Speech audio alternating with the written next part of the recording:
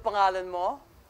Ako po si Sean Agusti. Yung mga kanta na ganito, no? Where ikaw lang, ik- ikaw talaga featured na featured dito. It's one of those quiet songs, di ba? You, it's just you and the, and the instruments, but it- you are the feature here. Ikaw yun eh. Mahirap yung mga kanta na to eh.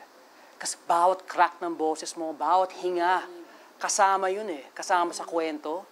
So I love his I love his style. That that, that little wiggly. Ah, hirap yun ah. I- yun ang talagang hilig mo, yung ganong klaseng songs. Yung ganong klaseng mga adlib, maganda. La- Lalong-lalo kung saan mo linigay sa song. Tastefully done, ibig sabihin, no? Did a very good job, but I know you can do much, much better. So ang kailangan mo, na may time, more singing, but don't don't give up. Don't think that this is the end of your road. I think this is just the beginning. Siguro ako lang, hinanap ko lang yung connections. Parang I just heard somebody singing, pero hinahanap ko lang yung nararamdaman ko na parang kwento mo yung kinukwento mo. Yun kasi yung dapat meron tayo as singers eh, to be able to tell stories kahit hindi natin mismong experience yun. Now, Sean, maliban sa pagkanta, ano pa ang iba mong talent? Uh, what can you share with us? Nagigitara po. Nagigitara. Yun ang maganda.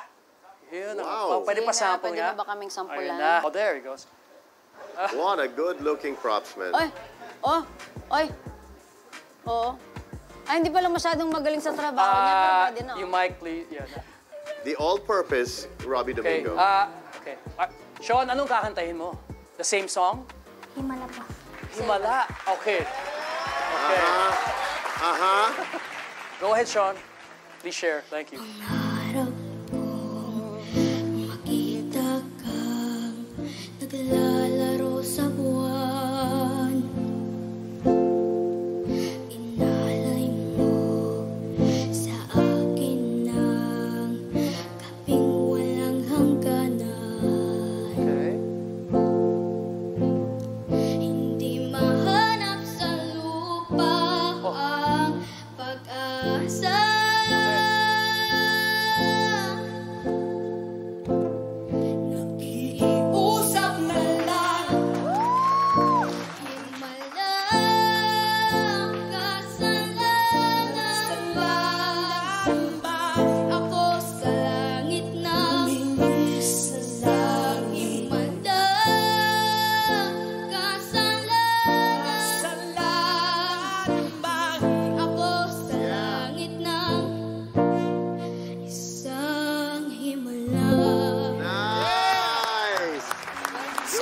you for sharing that. Sorry.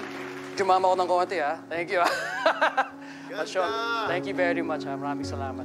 It's a, it's a tip for me, no? Minsan pag, to find a song, di ba? Minsan, let's say I'm playing a cover, eh, kumakanta ako ng cover, parang yung ibang tao, kanta ng ibang tao, di ba? Ah, ginigitara ko muna. I sort of play it by myself para so I can find myself in the song. May hilig ka talaga dito? Mag-gitara? Okay, then you gotta keep playing then. Keep practicing lang, ha? Okay? So good luck sa'yo. All right? I hope to see you in the future, okay? Future Camp Kawayan. Okay, thank you.